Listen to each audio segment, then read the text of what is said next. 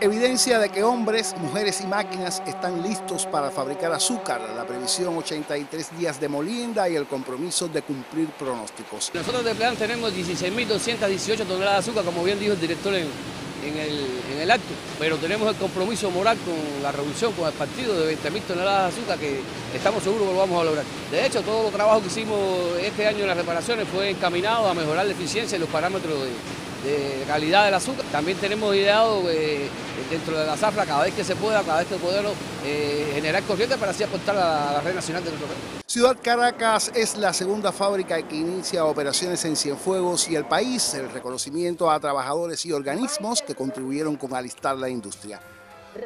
Boris García Cuartero, Noticias.